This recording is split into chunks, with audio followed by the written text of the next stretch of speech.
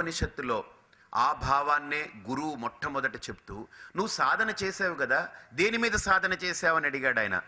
వీడంటాడు నేను బాగా సాధన చేసి తెలుసుకున్నాను నేను ఇంద్రియాలు కాను కళ్ళు ముక్కు చెవులు నేను కాను మనస్సు కూడా నేను కాను అన్నాడు. అంటే దాని మీద సాధన చేశాడంటే ఏది కాదో దాని మీద వీడు సాధన చేశాడంతే. అయినదేమిట్రా? అసలు నువ్వెవర్రా అని అంటే నేనండి గురువుగారు నేను కన్ను కానండి. కాదు సరే ఓకే. ఒప్పుకుంటా. నువ్వేంటి చెప్పు? నేనండి గురువుగారు చెవులు కాను. అంటే వీడు కాను కాను అని కాని వాటిని ఎస్టాబ్లిష్ చేస్తున్నాడే కానీ వీడయ్యున్నది ఏదో వీడు చెప్పలేదు. అందుకని ఇక్కడ గురువుగారు అంటున్నారు ఏది మన్యసే సువేదేతి. ఒకవేళ నేను ఇదేది కాను నేను శూన్యము అనుకుని ఉండిపోతావేమో. ఇవేవి కావుగా? ఇప్పుడు నువ్వెవరు అని అంటే ఏమో ఇంతవరకైతే కన్ను ముక్కు చెవులని నేను అనుకున్నాను. ఇప్పుడు అవన్నీ నేను కాను. నువ్వెవరనంటే ఏమిటో నాకేం అంటే నేనంటేనండి శూన్యం అన్నావు అనుకో ఎది మన్యసే సువేదేతి దభ్రమేవాపి నూనం త్వం వేత్త బ్రహ్మణో రూపం.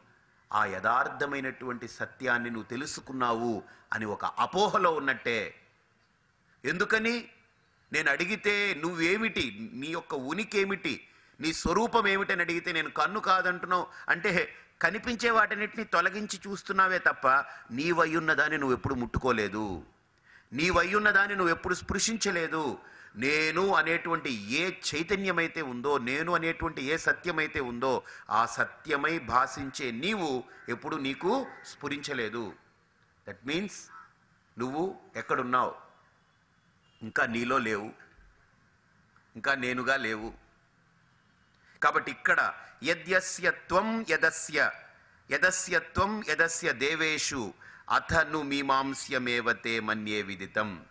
అంటే నీవేదైతే నేను ఇది కాను ఇది కాదు అనుకుని శూన్యం అనుకుంటున్నావో అలాగనే నువ్వు కూడా ఇంకొకటి ఈ దేవతాది సమూహం ఏదైతే ఇంద్రియ దేవతాది సమూహం ఏదైతే ఉందో అలాగనే ఏ దేవతలైతే అగ్ని వాయు ఇంద్రుడు వరుణుడు ఇత్యాది దేవతలందరూ కూడా ఈ ప్రకృతిని రక్షిస్తున్నారో నేను ఈ లోకంలో ఒక భాగమైతే ఇంద్రుడు కూడా ఈ లోకంలో ఒక భాగమే. వాడు రక్షకుడు. అలాగనే వాయువు ఒక భాగం అగ్ని ఒక భాగం వరుణుడు ఒక భాగం. వీళ్ళంతా కూడా దేవతలే.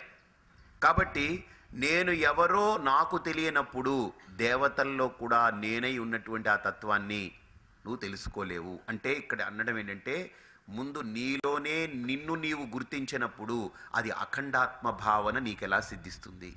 అంతటా నేనై ఉన్నాననేటువంటి భావన నీకెలా సిద్ధిస్తుంది?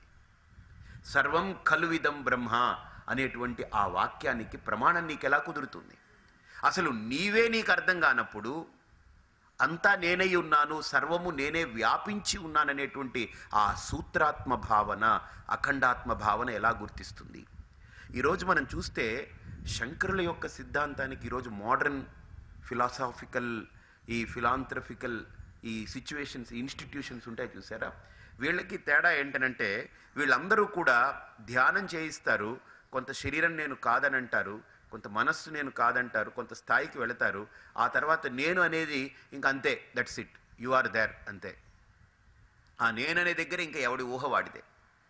ఇంకా అక్కడ కూర్చుని వాళ్ళు వాళ్ళు ఏమిటో వాళ్ళు ఒక హాయిగా అనిపిస్తూ ఉంటుంది వాళ్ళకి. అది అనిపించటమే అర్థమైందా? ఆ హాయితనాన్ని అనిపించుకుని హాయిగా ఉన్నాం అనుకుంటారు ఇంకొకటి ఎవడైతే తన నిజస్వరూపం దగ్గరికే చేరుకోలేదో వాడు తన స్వరూపాన్ని గుర్తించకుండా సర్వము నేనే వ్యాపి వ్యాపించి ఉన్నానని చెప్పడానికి ఎలా వీలవుతుంది వాడు? చెప్పలేడుగా?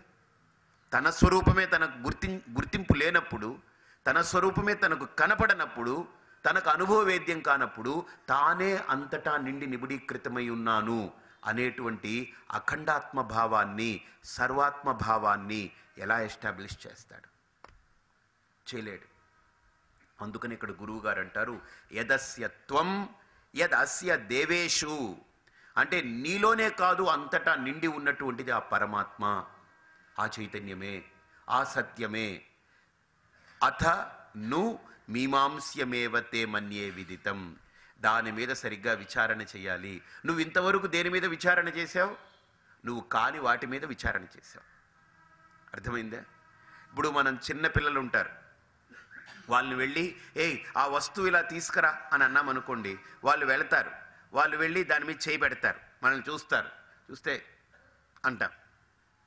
అంటే వాళ్ళు పక్కకు వెళ్తారు. మళ్ళీ పక్కకు వెళ్ళి ఇంకో దాని మీద చేయి పెడతారు. దాని మీద చేయి పెట్టి ఇదే అంటారు. చూస్తాడు వాడేం మాట్లాడు వీడు కూడా అంటాడు.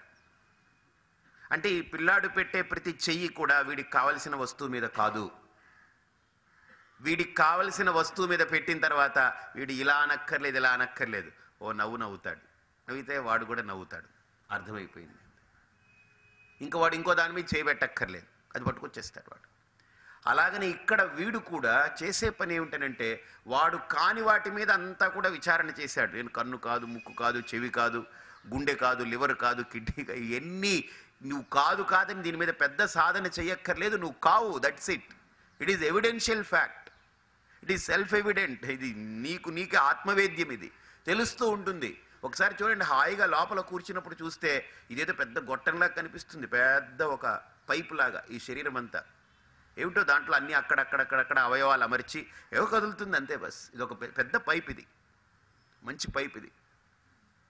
ఈ కార్పొరేషన్ పైపులు తయారు చేస్తారు కదా ఒరలు అంటారు దాన్ని. ఏమంటారు? ఏమంటారు దాన్ని?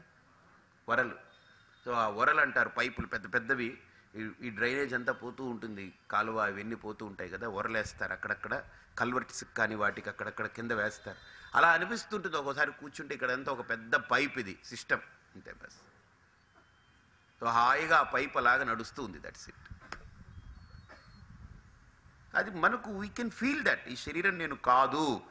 నేను అసలు ఈ శరీరం కాననేటువంటి ఆ అనుభూతి దాని మీద పెద్ద సాధన చేయక్కర్లేదు. కానీ నేనయ్యున్నటువంటి దాన్ని నువ్వు గుర్తించినప్పుడు మాత్రమే యదస్యత్వం యద్ అస్యత్వం నీవయ్యున్నటువంటి ఆ సత్యం ఏదైతే ఉందో దాన్ని గుర్తించాలి.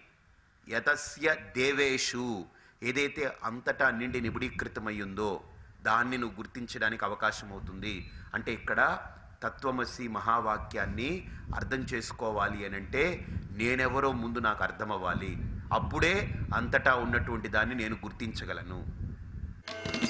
thank you